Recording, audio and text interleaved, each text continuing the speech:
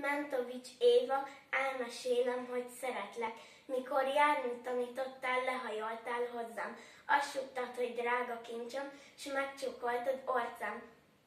Ölelgettél, cirógattál, ápoltad a lelkem, kedves szóval terelgettél, bármi rosszat tettem. Oly sok éjjel virasztottál, kívánságom lesve, álmod hozó meséd nélkül sosem múlt el este. Beszédre is tanítottál, Szívesen mesélek, elmesélem e szép napon, hogy szeretlek téged.